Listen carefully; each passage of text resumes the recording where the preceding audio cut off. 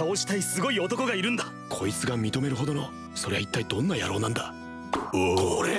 いや人を殴るのなんて武勇伝とも何とも思ってないイカれたやつなのか。おい相棒。相棒？これ？一周回って戻ってきちゃったぞ。いや人を見た目で判断するなっつってもさすがにこれはないだろう。アルファ計画は順調か佐伯？チー佐伯さん。佐伯くん元気？